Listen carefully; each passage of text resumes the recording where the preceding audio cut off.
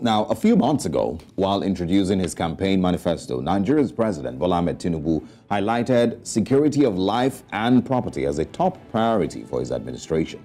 His strategy was to, uh, to achieve this, of course, uh, according to him, is to first pull most Nigerians out of poverty and provide the basic needs for a decent life and social justice for all, irrespective of region, tribe, and religion. Insecurity has become a major threat to the nation's upbuilding and since its inauguration, reports of insurgencies and kidnapping in the northern state of the southeast have continued to surge.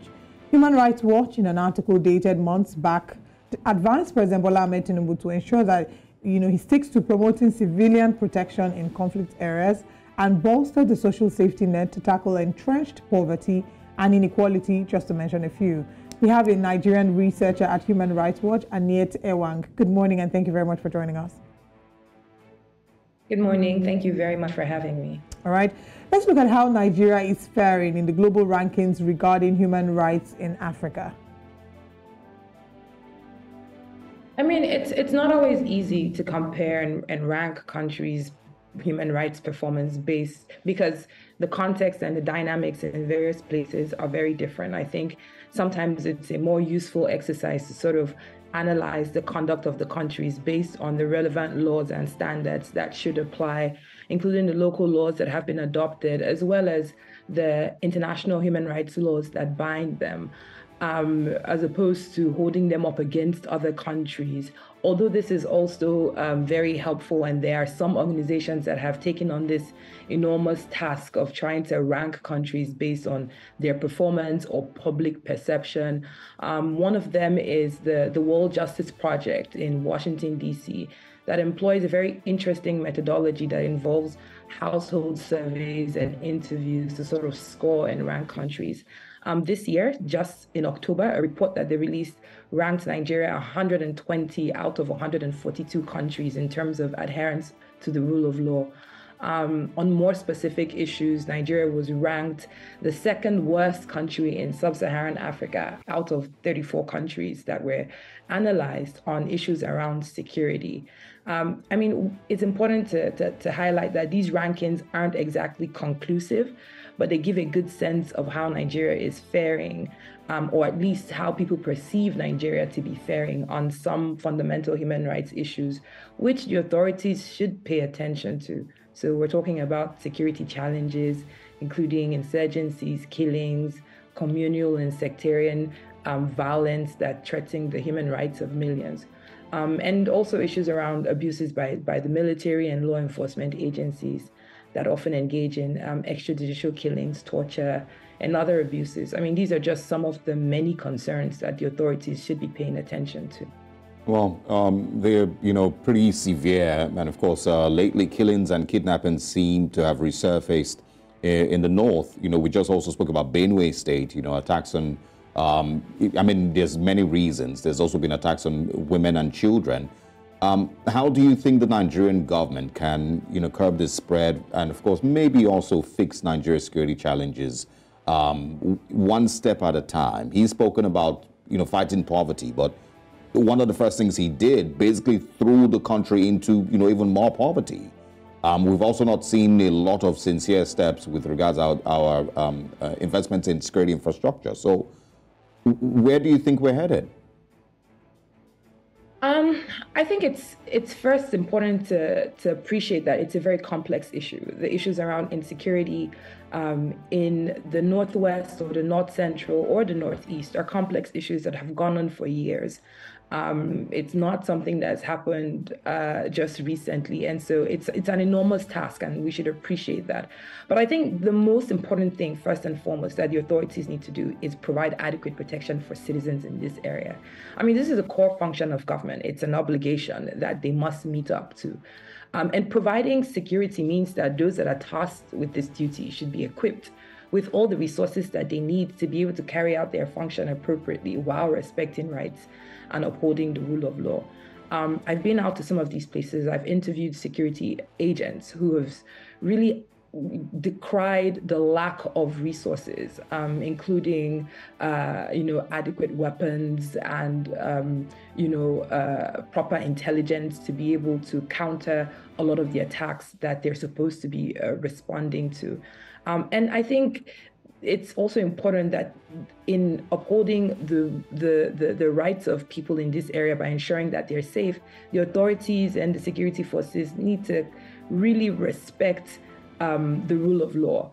Uh, we've seen in many cases how responding to whether it's insurgencies or in some cases counterterrorism operations have been very abusive. They've led to, you know, even more grievances against citizens because people have been killed arbitrarily. That's also something that must be um, really considered as the authorities seek to carry out their function of, of keeping people safe. But I think another thing that's important at this point is for the authorities to pay attention to the rising humanitarian crisis um, that has become very glaring in many of the areas affected by insecurity. Um, people have been displaced from their homes, their communities. They're forced to live in precarious conditions with very little or no access to, to basic necessities such as shelter, such as food, such as water. So it's important for the authorities to remember that these people have also have rights to be adequately taken care of, to feel safe and secure. And um, and they, I mean, the government has the responsibility to do this. And and I think my last point on this is around the fact that a lot of the response from the authorities have been militarized. Um, the response in dealing with issues of insecurity, especially in, in the Northwest and North Central, where we're seeing these kidnappings and killings on the rise. But I think it's critical for them to look beyond this and really start to sort of focus on the root causes of the crisis. Um, lots of local and international organizations and think tanks have done important work studying these crises and underlying um, a lot of the drivers of, of, of the violence and, and the insecurity. Um, it's important for, for the government to, to really start from here to try to respond. Um, I give you an example in the Northwest where these killings and kidnappings are rampant um, by bandit groups. Uh, several drivers, including the proliferation of weapons gotten from across Nigeria's porous borders, have been identified as, as key issues that must be addressed. We also have issues around land use and ethno religious dynamics in parts of the North Central as well um, that are drivers of, of crisis and conflict there. Um, but the authorities have not yet been able to successfully navigate um, these issues and come up with a solution um, that is acceptable to everyone. Um, and we see that these issues are morphing into broader security concerns with even more security implications for the country. Right.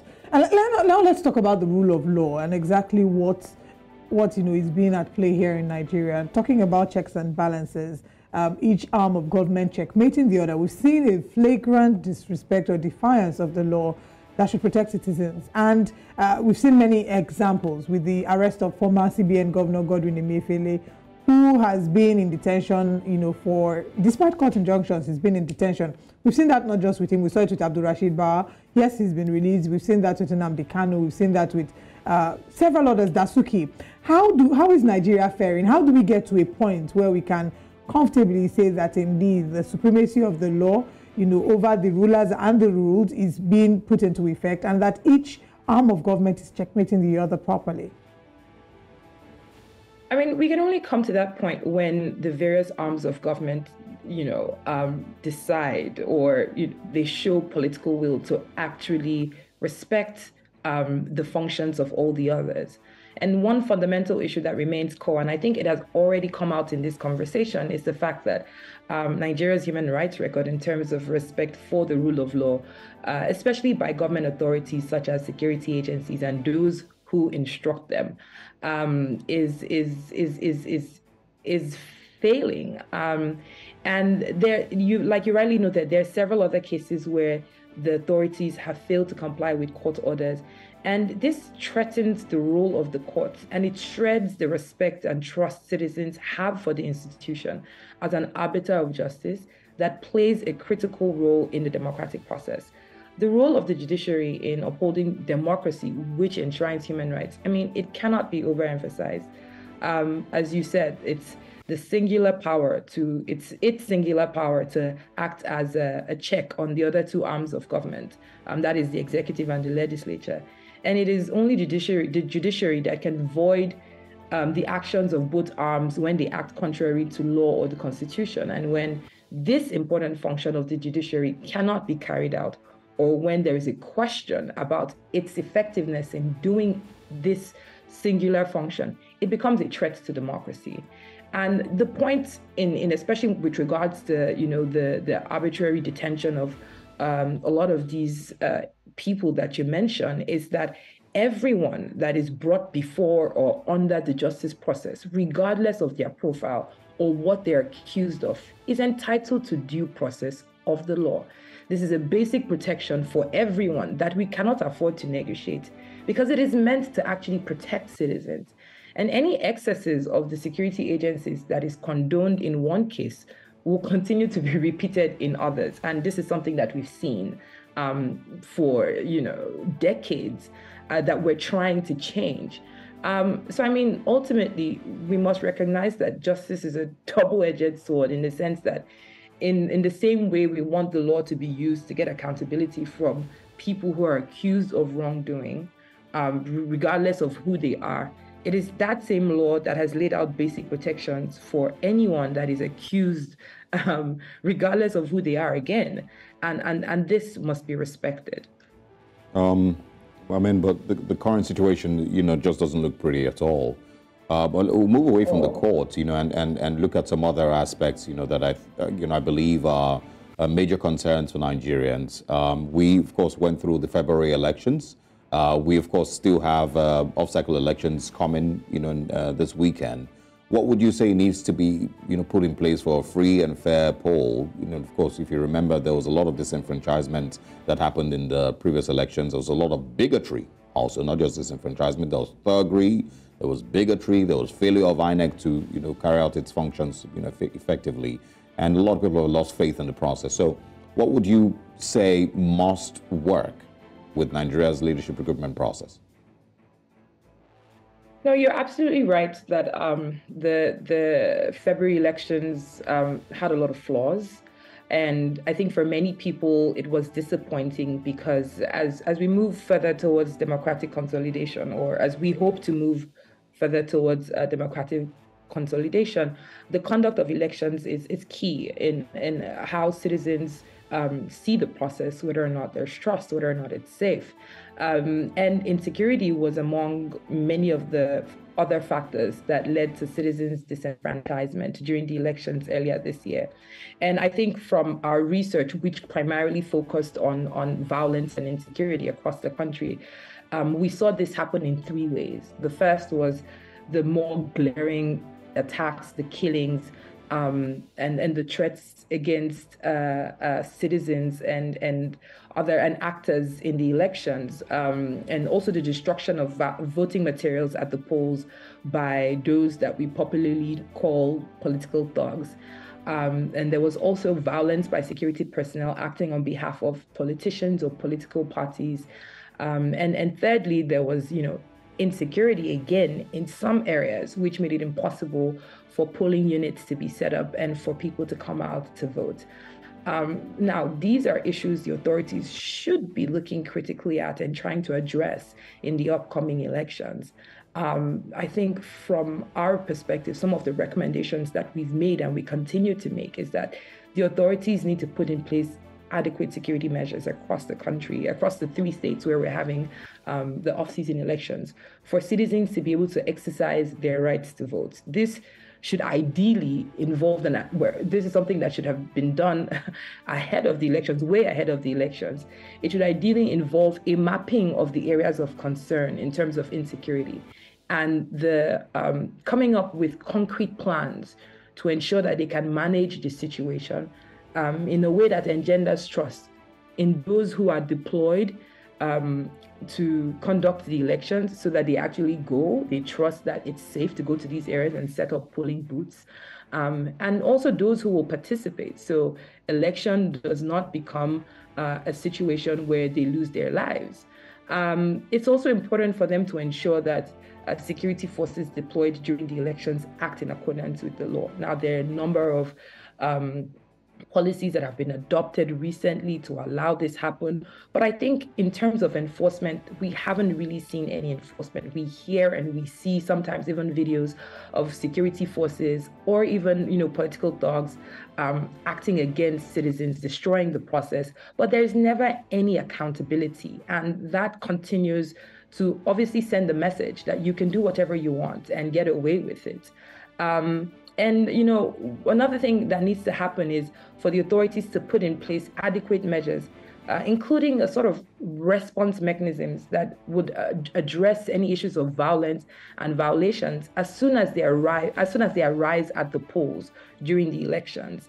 Um, but I think for us, the, the key message and what I guess we're hoping the authorities take away from um, all of our, our reporting and documenting on violence during the elections is that more needs to be done to ensure accountability for violence during elections, um, whether it's by security forces or by citizens or at the instance of political parties themselves. We need to start seeing um, um accountability. We need to start seeing people being held responsible for their actions. It's and it's one of the only ways in which we can actually um, make our elections process a bit more credible and enshrine, you know, um, or engender trust in. Yeah, it's also what, important to mention. Um, it's also important to mention, you know, that you know while we talk about violence in the electoral process, it's not done by aliens. So there's also a role that citizens need to play. Uh, to understand that they you know cannot continuously be used by these politicians and these players uh, to ruin the electoral process uh, for peanuts. Um, you know, so so you know, the Nigerian citizen, as much as he will complain and cry that we need better elections and a better country, also has a role to play um, um, in all of this. But thank you very much, Anietie Ewang, for stopping by. Uh, very interesting conversation with you. Of course, on Saturday we'll see if there's been any changes or any difference in the electoral process. But most importantly, uh, the Nigerians and, of course, the human rights um, ratings across the continent and across the world. Um, so much work needs to be done. We'll be speaking with you again. Thank you very much. Have a good day. You too.